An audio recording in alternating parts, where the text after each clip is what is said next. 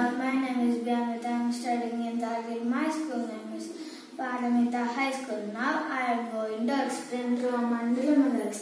Numerals are symbols of numbers. The Roman numeral system has seven systems R, A, X, L, C, D, M. Now I am going to explain how to write Indo-Arabic numbers and Roman numerals. I stands for 1. V stands for 5, X stands for 10, L stands for 50, C stands for 100, D stands for 500, M stands for 1000. For example, XII is called 12. In this way, we have to write Roman